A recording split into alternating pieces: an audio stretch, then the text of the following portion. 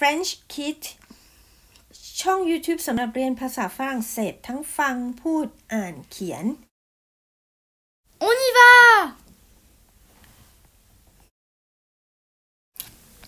Phonétique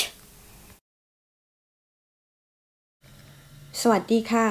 วันนี้มีเสียงใหม่ ๆ เพิ่มเติมมาจากเสียงที่เคยเรียนมาแล้วนะคะสำหรับคนที่เพิ่งเปิดมาเจอช่อง French Kid สามารถไปหาคลิปเก่าๆ ย้อนฟังดูได้นะคะ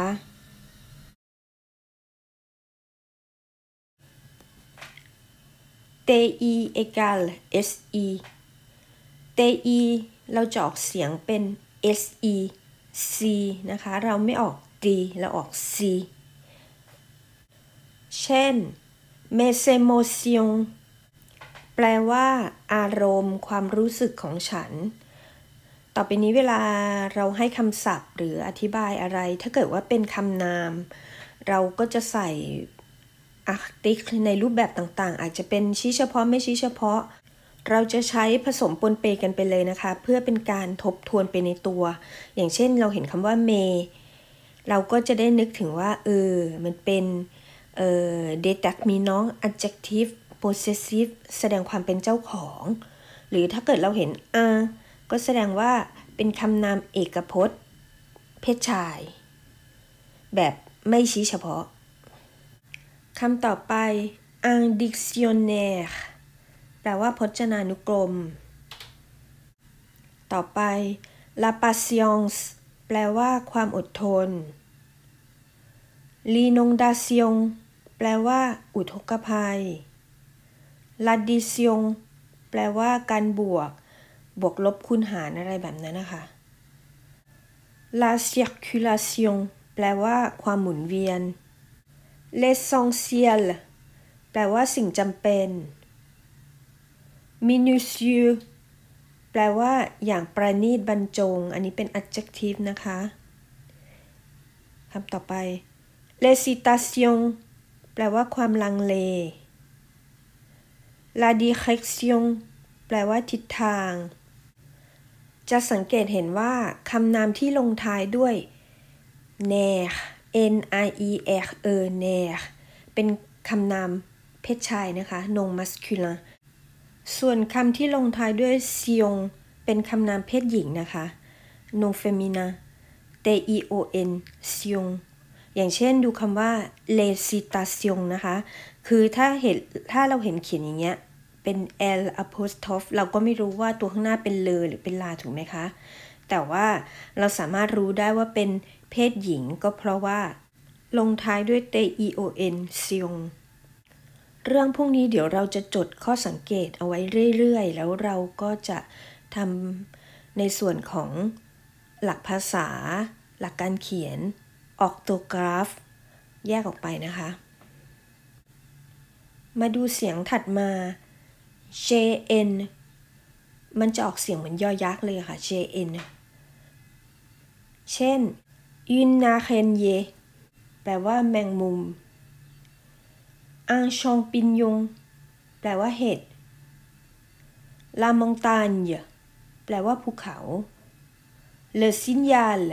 แปลว่าสัญลักษณ์ สัญญาณ le règne แแปลว่าช่วงเวลาที่ครองบัลลังก์ของพวกกษัตริย์อะไรพวกนี้ค่ะ มินยง แปลว่าน่ารัก เป็น adjective ดังนั้นถ้าเกิดว่าขยายนามเพศหญิงก็ต้องเติมเออเข้าไป เป็นมินยน พวกนี้เดี๋ยวเราไปเรียนหลักภาษาค่ะคำต่อไป ตรงเป็นหยวกแปลว่าเสื้อคลุมของเธอ เห็นไหมคะคำว่าตรงก็คือ determinant possessive แสดงความเป็นเจ้าของ je saigne แปลว่าฉันเลือดไหล กริยาเซนเย ผันตามสรรพนามเอกพจน์บุรุษที่หนึ่งเชอเซนเย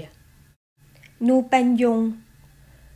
แปลว่าพวกเราระบายสี พวกเราทาสี เป็นกริยาป้านด จำได้ไหมคะคราวที่แล้วเรียนกริยากลุ่มที่3ป้านดผันกับสรรพนามพหูพจน์บุรุษที่หนึ่งนู นูเป็นยง ตัวอย่างสุดท้าย in ส่วนเยเป็นกริยาส่วนเย ผันกับประธาน เอกพจน์บุรุษที่สาม il ส่วนเยเขารักษา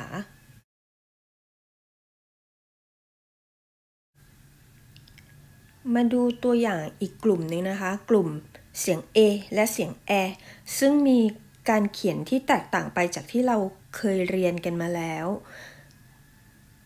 กลุ่มแรกนะคะ เรามาดูกลุ่ม a ก่อน แต่เขียนด้วยเอเตเอเต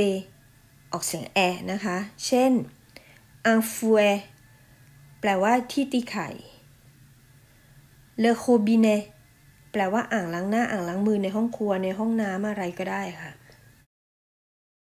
le poulet แปลว่าไก่ un sifflet แปลว่านกหวีด อันนี้ก็คือเรียนเอาไว้ตามหลักภาษานะคะ แต่สำหรับเราเวลาเราฟังคนฝรั่งเศสเขาพูด จริง ๆ แล้วเราว่าเสียงเอเตมันก็ใกล้กับเสียง A เหมือนกันนะ มันทั้ง A ทั้ง a ค่ะ ก็ไม่ต้องซีเรียสมากแต่ว่าเราก็บอกไว้ตามหลักภาษา ว่าคือมันมันออกเสียง a กลุ่มสุดท้าย เอแอร์อีเอแอร์แล้วก็เอเซออกเสียง A มาดูตัวอย่างโคลอนทางซ้ายก่อนนะคะเลโคเชแปลว่าหินก้อนใหญ่เลบูเชคนขายเนื้อ คนที่ทำงานร้านขายเนื้อ มงกูเต แปลว่าอาหารว่างของฉัน ชาร์ดิเน เป็นกริยานะคะ แปลว่าทำสวน อันนี้เป็นกลุ่มที่ลงท้ายด้วยเออแอออกเสียง A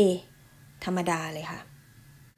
จากที่เราเรียนการผันกริยากลุ่มที่ 1 ไปจะสังเกตเห็นนะคะว่ากริยากลุ่มที่ 1 a l a m f i n i t i v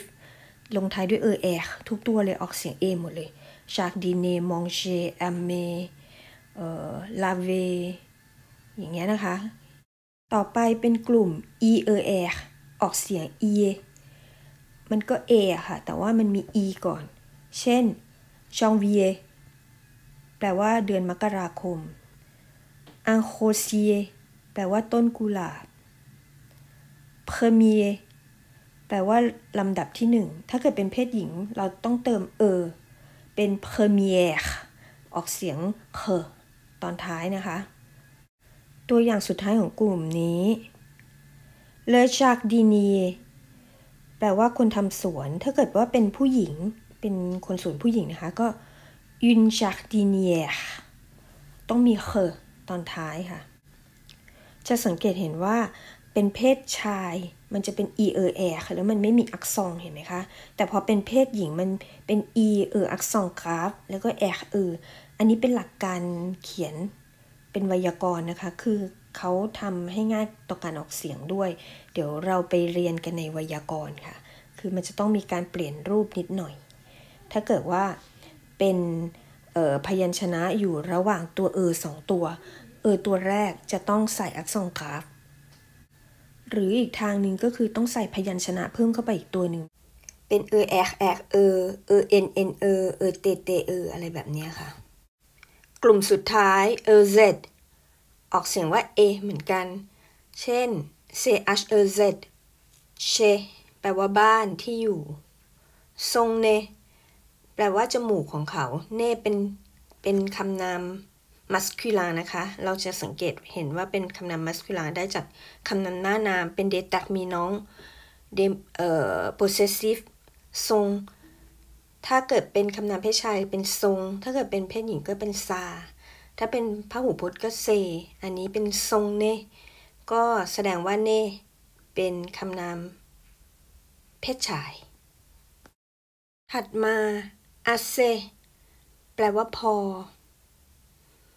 ตัวอย่างสุดท้าย vous avez